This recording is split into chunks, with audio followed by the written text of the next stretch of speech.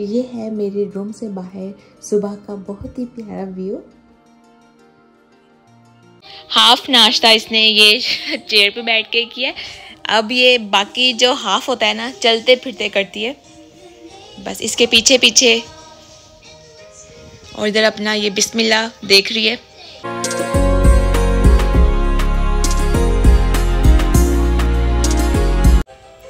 ये बैठ के खाएँगे। छोटा बेबी छोटा बेबी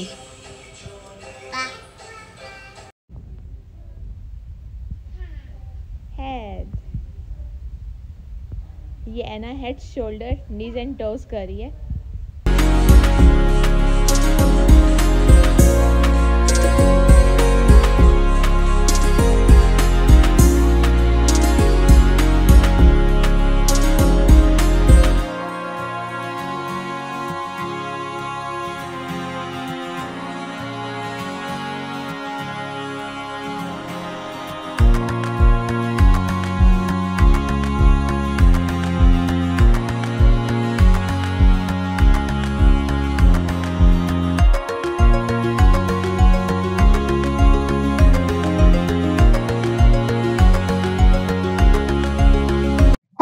एवरीवन क्या हालचाल है? उम्मीद करती हूँ आप सब ठीक ठाक होंगे और खैरियत से होंगे। मैं भी बिल्कुल ठीक हूँ। This is Maham and welcome back to my brand new vlog in life of desi American girl अभी सुबह के 11:30 तकरीबन हो रहे हैं।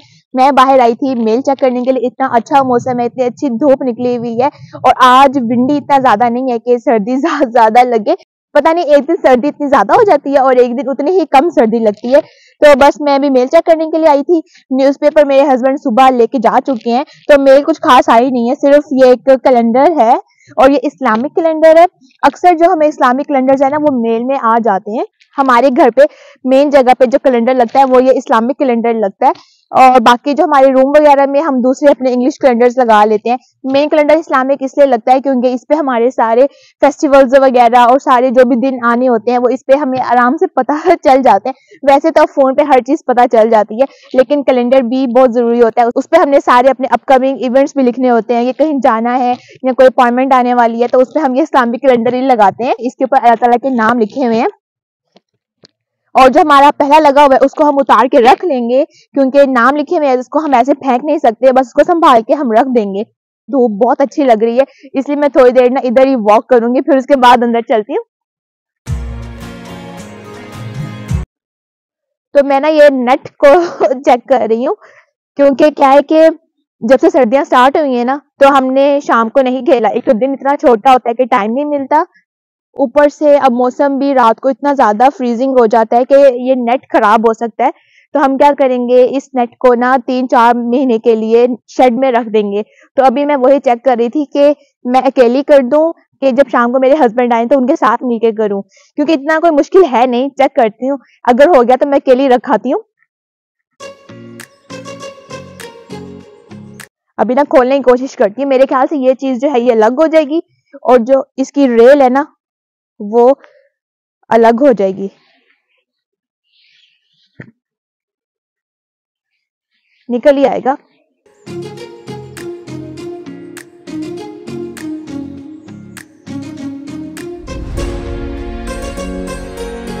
क्योंकि सर्दी इतनी ज़्यादा होती है कि ये चीज़ें ना सर्दियों में खराब हो जाती हैं। और वैसे भी जब ज़रूरत नहीं है तो इसको बाहर रखने का फ़ायदा भी नहीं है।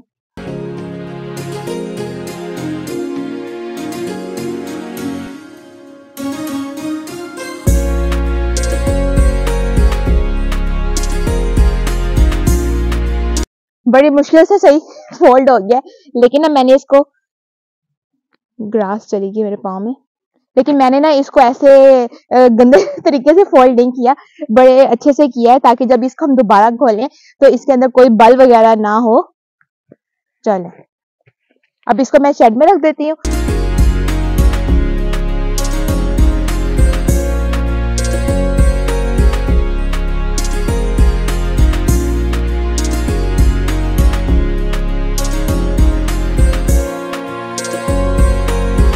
नेट तो मैं रखा ही हूँ, अब इसको भी लेके जाने की कोशिश करती हूँ।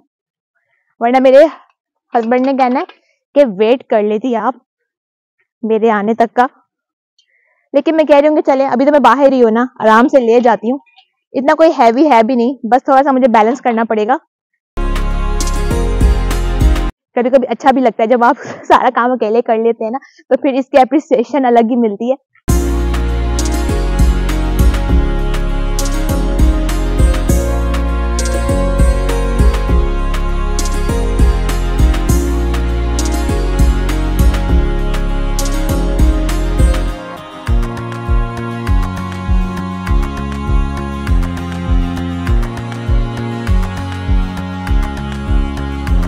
वैसे पूरा रेल खींच के लाना थोड़ा सा मुश्किल था।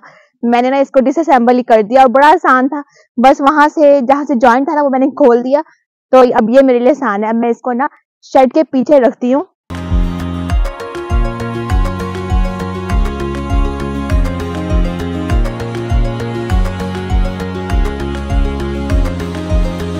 तो ये इतना हल्का है कि देखिए मैं अपने हाथ दोनों हाथों पे यानी कि पकड़ के लेके आ सकती हूँ। तो ये बल्कि ठीक हो गया। अगर मैं एक ही रेल खींच के लेके आती ना तो वो मेरे लिए काफ़ी मुश्किल था। क्योंकि एक तो जो ग्रास है ना, वो भी कोई प्रॉपर सरफेस नहीं है, इसलिए बहुत मुश्किल था मुझे ड्रैग करके लेके आना। ये ठीक है।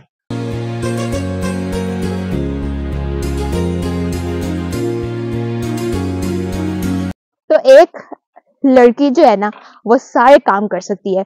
घर के काम भी कर सकती है, बाहर के काम भी कर सकती है, और कोई काम भी मुश्किल नहीं होता।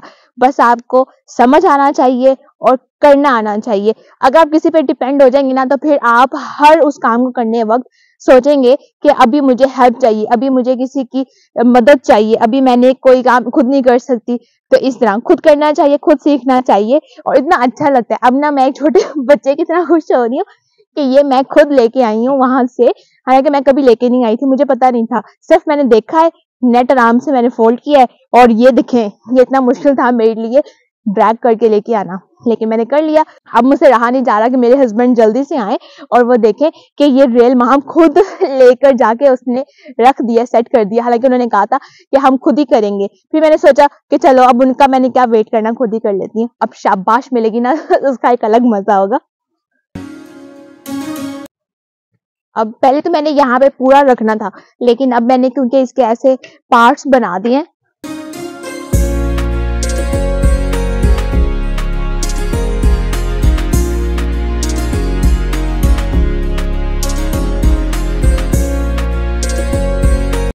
अभी फ़िलहाल तो मैंने ऐसे सेट करके रख दिया है। बाकी जो मेरे हस्बैंड है वो आके खुद ही देख लेंगे कि, कैसे रखना है। इतना काम तो मेरा हो गया। और ये बेंच अगर आपको याद हो, मैंने अपने हाउस टूर में बताया था कि ये बेंच भी हमने खुद ही बनाया है। ऐसे जब काम करते करते थक जाते हैं ना तो फिर हम इस बेंच पे बैठ के थोड़ा सा सांस लेके फिर हम अंदर जाते हैं। तो बस अभी थोड़ा सा मैं सांस ले लूँ, फिर मैं अंदर चलती हूँ। अब काम किया तो गर्मी भी लगने लग गई है। तो ठीक है, अब अंदर चलते हैं। अब एना जो है अपनी कार के साथ खेल रही है। एना, बैठ के दिखाओ। बैठ के दिखाओ, शाबाश। थोड़ा सा करके। शाबाश शाबाश। सबको पता है एना को बैठना आ गया है। शाबाश। तो अभी एना ना नैप लेके उठी है और मैं और एना खेल रहे हैं।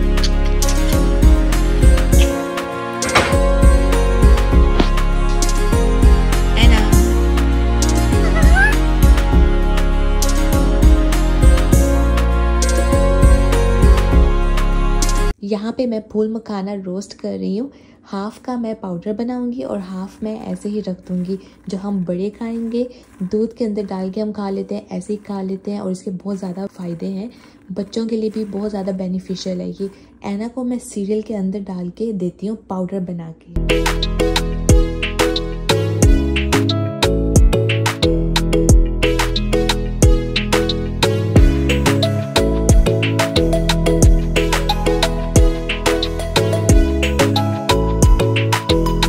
मैं अभी नमाज़ पढ़ के आई हूँ और मुझे ना बड़ा अच्छा लगता है कि नमाज़ पढ़ के शाम को स्पेशली थोड़ी देर के लिए बाहर आना और ऐसे बैठ के ऐसे ग्रीनरी देखना, ऐसी खामोशी, आपको पता है कि मुझे खामोशी कितनी पसंद है।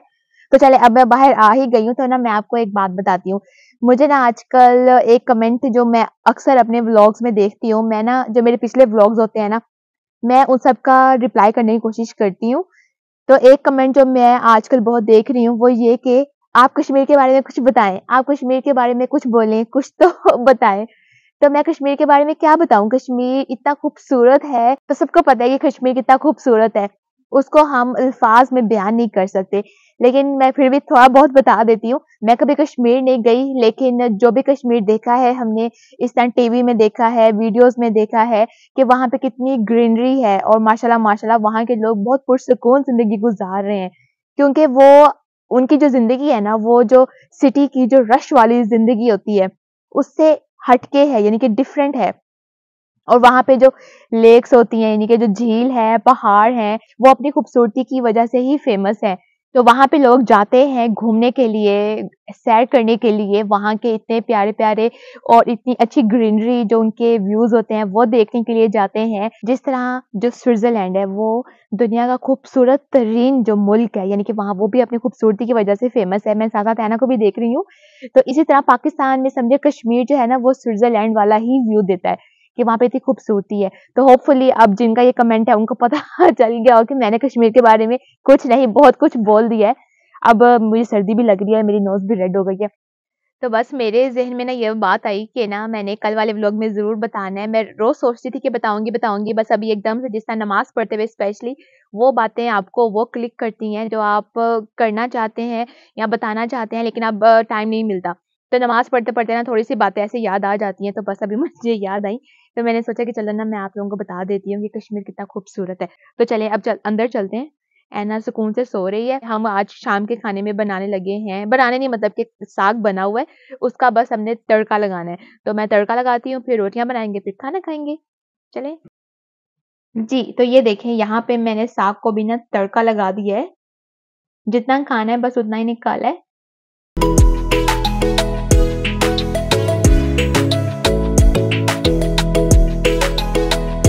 जी, खाना खा लिया है और यहाँ पे करूँगी मैं अपने आज के इस ब्लॉग पॉइंट अगर आपको मेरा आज का ये सिंपल सा ब्लॉग पसंद आया है तो आप लोगों ने करना है लाइक एक प्यार से कमेंट करना है और मेरे चैनल को सब्सक्राइब करना नहीं भूलना।